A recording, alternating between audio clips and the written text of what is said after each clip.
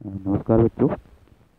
कक्षा सात की नैतिक शिक्षा की पुस्तक में आज हमारा है पार्ट दस हमारे सामाजिक दायित्व, ये हमारा चलेगा आज। तो इसको चैप्टर को आज हम रीड करेंगे इस वीडियो में, ठीक है? तो स्टार्ट करते हैं। मनुष्य एक सामाजिक प्राणी है। समाज में रहकर समाज के कल्याण के कार्य करना प्रत्येक व्यक्ति का जो है दायित्व बन जाता है। क्योंकि मनुष्य सामाजिक प्राणी है तो समाज में रहकर उसको जो है समाज के लिए कुछ काम करना चाहिए। समाज के विकास के लिए सबको साथ लेकर चलने की आवश्यकता पड़ती है। एक दूसरे के काम आना, सुख दुख में सहायता करना, कमज़ोर व्यक्तियों का सहयोग जो है, अनेक जो है सामाजिक दायित्व ऐसे हैं जो व्यक्ति को करने होते हैं। समाज में फैली कुरीतियाँ, अंधविश्वास का निवारण करके अपना कर्तव्य निभा सकता है। जैसे कि जो कुछ कुरीतियाँ हैं, जैसे दहेज प्रथा, बाल विवाह, शिक्षा, इनको जो है दूर करने में जो है व्यक्ति सहयोग कर सकता है। और आ, हमने देखा भी है कि जो इन क्षेत्रों में कार्य करते हैं उनको सम्मानित भी किया जाता है। घोर पिछले क्षेत्र में कट्टरता के वातावरण में शिक्षा के लिए कार्य करने वाली अब अफगानिस्तानी सत्रह वर्षीय छात्रा मलाला यूसुफ जी और बाल मजदूरी उन्मूलन हेतु संघर्ष करने वाले भारतीय कैलाश सिद्धार्थी को उनके सराहनीय सामाजिक कार्य के लिए जो है नोबल पुरस्कार से सम्मानित किया गया था। ठीक है? हमारे कुछ सामाजिक दायित्व निम्न प्रकार के हैं जैसे कि पर्यावरण संरक्षण करना। जैसे कि आपको रिसेंटली पता ही है कि पर्यावरण जो है बहुत प्रदूषित हो रहा है और कारखानों से निकलने वाला धुआँ, कीटनाशक, दवाइयाँ, इनके कारण जो है पर्यावरण प्रदूषित हो रहा है।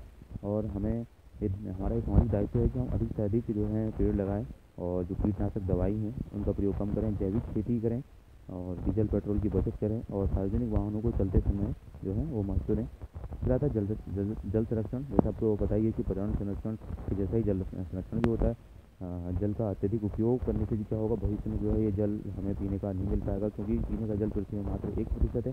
तो हमें जो है ध्यान रखना चाहिए कि पानी को उतना ही खर्च करना, खर्च करें जितनी आवश्यकता होती है और अनावश्यक रूप से टोटी को खुलाने छोड़ें, ठीक है?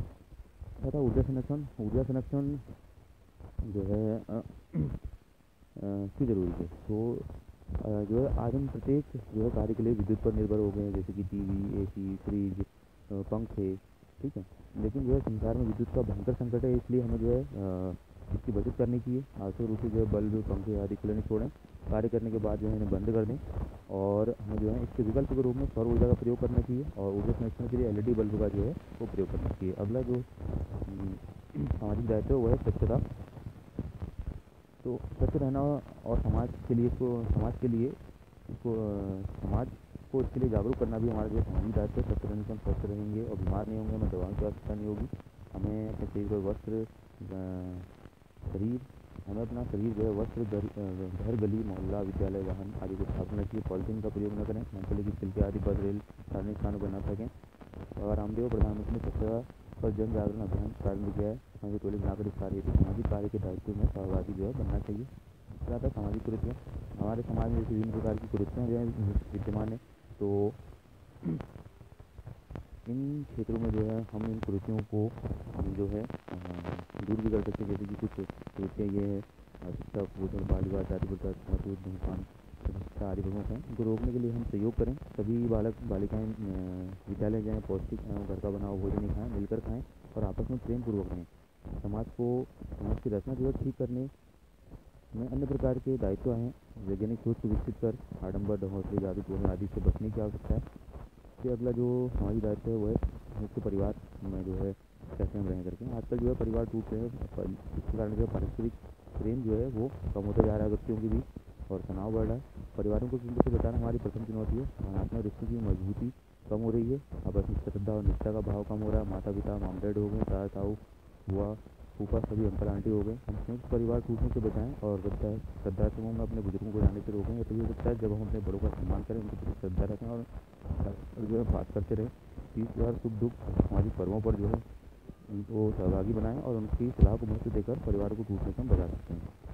कुछ सामाजिक दायित्व का निर्वहन करने के लिए अपने को समर्पित करने वाले जो महान व्यक्ति थे, उनके बारे में यहाँ दिया गया है तो उनको देख लेते हैं। महात्मा गांधी ने जो है सांस्कृतिक उन्मूलन के खिलाफ जो है अपना मोर्चा खोला था डॉक्टर हेडगेवार ने सामाजिक समर्थता का सामाजिक दायित्व निभाया था, दीनदयाल उपाध्याय ने अंत्योदय योजना में, जो है ये सभी लोगों को जो है खाना, भोजन प्राप्त हो सके नेहरू मंडल ने रंगेज के खिलाफ जो आंदोलन किया था, मौलाना यूसुफ जैन ने महिला शिक्षा के प्रति जागरूकता का कार्य किया कला शिक्षार्थी ने बाल मजदूरी